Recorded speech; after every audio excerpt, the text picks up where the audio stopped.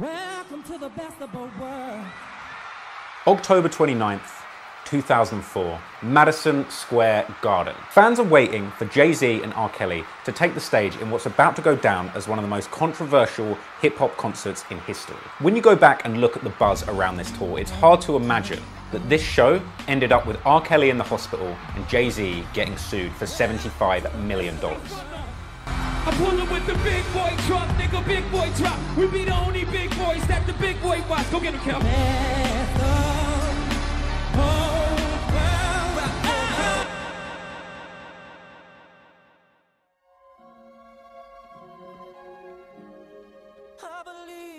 fly. It was actually childhood classic and softcore bunny rabbit porno Space Jam that brought these two together. Jay Z first worked with R. Kelly in 1996 on the Changing Faces track All My Days. It was a song that was written and produced by R. Kelly for the Space Jam soundtrack.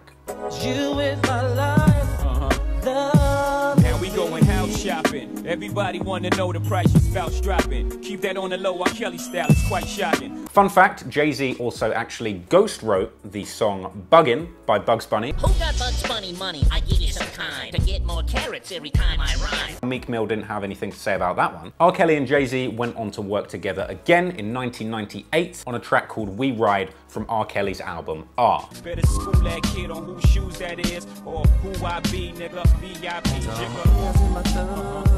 But things really heated up for the duo in the year 2000 when Jay Z appeared on the remix of R. Kelly's smash song Fiesta, which I can only assume was inspired by his own love of affordable two door hatchbacks.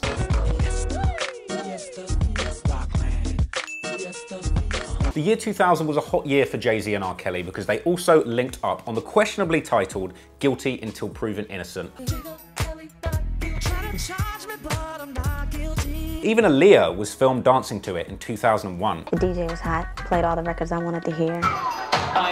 So it was the buzz that was generated by the track Fiesta as well as Guilty Until Proven Innocent that made R. Kelly and Jay-Z start to think it might be a good business decision if the two dropped a joint album and went on tour together. In 2002, Jay-Z and R. Kelly threw a huge press conference to announce their new joint album and tour, The Best of Both Worlds. Just the idea of having a whole album, myself and R. Kelly, an amazing prospect. Best of both world tours come to a city near you soon. Definitely. This event was unusually hosted by Johnnie Cochran, who I can only assume does some kind of bulk deal on defense cases and public appearances. So this was actually Jay-Z's first experience doing a joint album. And we all know that he went on to have absolutely amazing joint albums with people like Linkin Park, Kanye West, and even his own bloody wife. The duo had initially planned to drop their album in March 2002. Now, unfortunately, the album leaked in February 2002, and to make matters even worse, it turns out that R. Kelly was planning a little leak of his own. R. Kelly breaks his silence. Tonight, the R&B star responds to allegations regarding sex with underage girls. Jay-Z moved pretty quickly to distance himself from this disgusting mess. if he's guilty, I just hope and pray that he get help. If he's not, mm-hmm. I wish everybody embrace him. I mean, I wasn't there. You know what I'm saying? Yeah. Like I know that. Like I know I ain't have nothing to do with that. So, mm-hmm. you know, it, the, the alleged incident. You know what I'm mm-hmm. saying? Jay-Z refused to appear in any videos, any tours, and didn't do any promotion for the album. Jay-Z's hardline position on R. Kelly seemed to loosen up pretty considerably within the next year. Jay-Z was more than happy to bring R. Kelly out on his fake retirement tour in 2003 for the Black Album. She get it from her mama. You can't tie sweater over that ass or hotter than pajamas. Jay-Z was so chuffed with the response that he got when he brought R. Kelly out on the Fade to Black tour that he started to reconsider going on tour with him. I mean, the guy got caught on these child sex allegations in 2002, and by 2003, he's dropping the classic album Chocolate Factory, which went platinum in three weeks. And you can see why. It had Ignition Remix, Step in the Name of Love, I, I haven't had an album do what this album has done. You know, a lot of people out there saying, man, this is your best work yet. One year and one classic album later, Jay Z decided to open his arms to R. Kelly and secure one of the most questionable bags in hip hop history. Here's Jay Z on the radio with R. Kelly, dodging a question about why he's welcomed him back after this scandal. I can understand your reasoning on why y'all didn't promote the last album. Now y'all have given this man a second chance. This is something that the people want to see. You know what I'm saying? It's, I don't know what you. I don't know what you. Why would you call it a second chance? The first, the first thing that happened, life it comes before entertainment. So at this point, they decide to drop another album together called Unfinished Business, made up of leftover cuts from the first Best of Both Worlds album, and they embark on the original Best of Both Worlds tour together. That tour didn't quite go as it was planned.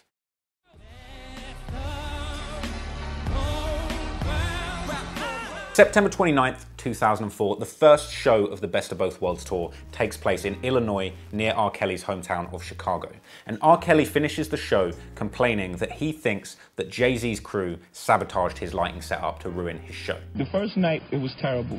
Due to uh, technical difficulties, we don't believe in bringing a show that's half-assed to our fans. September 30th, the next day, R. Kelly is two hours late for their planned show. So the second night, the guy is on the bus. I'm waiting downstairs two hours. And then over the next couple of weeks, everything seems to go to plan, the shows are going fine. October 17th, and Jay Z leaves a Best of Both Worlds concert early, saying that he has a family emergency. He is later pictured that night at Usher's birthday party. October 23rd in St. Louis, and R. Kelly cuts the Best of Both Worlds show short. It's later reported that R. Kelly actually assaulted the lighting technician on this show, though no charges were pressed. Following this incident, shows in Hartford and Milwaukee were cancelled. Hartford is very upset about the fact y'all ain't coming through tonight. Unfortunately, the show got canceled because we have to fix lights. We got to fix some things that went that broke down with the tour. It has nothing to do with y'all ain't speaking to each other. Nah, but we're not married. You know what I'm saying?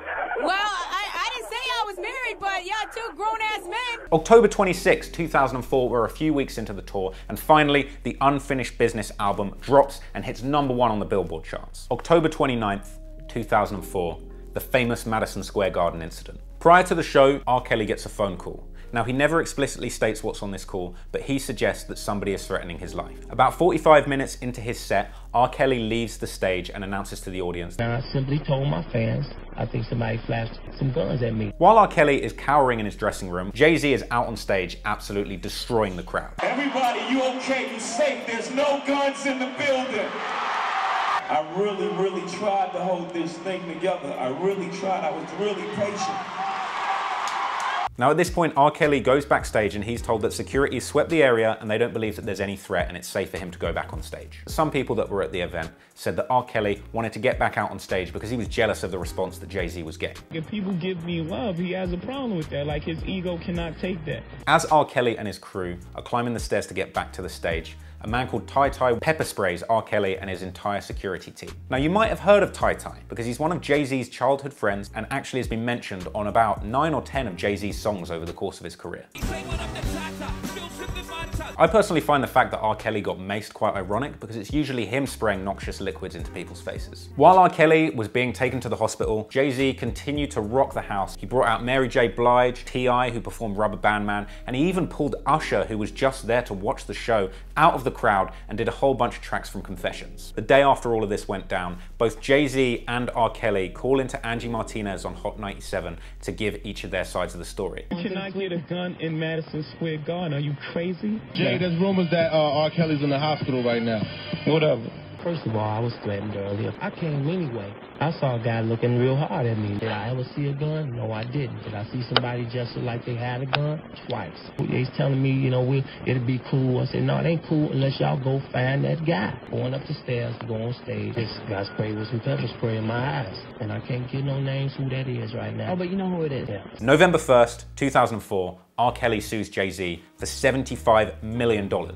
Then in January, Jay Z countersues R. Kelly. Jay Z actually alludes to this lawsuit on his 2004 remix of Snoop Dogg's Drop It Like It's Hot. It's just saying, homie, you got piss aid. Take it like a man, the flow ran you off the stiff age. Wasting your time trying to sue us, stop. Tell your lawyer, take that civil case and drop it like it's hot. Jay Z's countersuit against R. Kelly was eventually dismissed by the judge who allowed the initial lawsuit against Jay Z by R. Kelly to proceed. And this lawsuit was eventually settled out of court by Jay Z for an undisclosed sum. But the real winner in all of this was, of course, Ty Ty. Now, Ty Ty was hit with a charge of third degree assault for the pepper spray incident. But Ty Ty eventually took a plea deal for the lesser charge of disorderly conduct. Ty Ty was actually chosen to be the vice president of A&R at Def Jam Records under Jay Z. I personally think that this story just proves one thing. Sometimes you do just have to pepper spray your way to the top. If you like that video, make sure that you subscribe and like below. Hit that notification notification bell so you can see every time that I upload a video. And I just wanna say thank you for everybody that's been supporting so far, anybody that's been liking and commenting, I appreciate it a lot. And I'm looking forward to making a lot of videos for you guys in future. Until then, peace out. Yeah.